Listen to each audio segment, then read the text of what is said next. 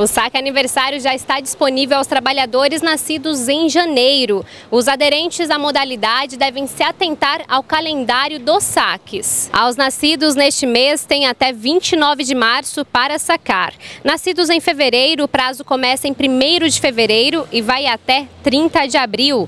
Março, de 1 de março a 31 de maio. Em abril, de 1 de abril a 28 de junho. Em maio, de 2 de maio a 31 de julho em junho, de 3 de junho a 30 de agosto, em julho, de 1 de julho a 30 de setembro, em agosto, de 1 de agosto a 31 de outubro, setembro, de 2 de setembro a 30 de novembro, outubro, de 1 de outubro a 29 de dezembro, novembro, de 1 de novembro a 31 de janeiro de 2025 e em dezembro, de 2 de dezembro de 2024 a 28 de fevereiro de 2025. A Caixa divulgou dados recordes do resgate do saque aniversário em janeiro do ano passado. Foram quase 2 milhões e meio de saques e mais de 1 bilhão de reais resgatados. A modalidade disponível desde 2020 é opcional e pode ser revertida para saque e rescisão pelo aplicativo do FGTS.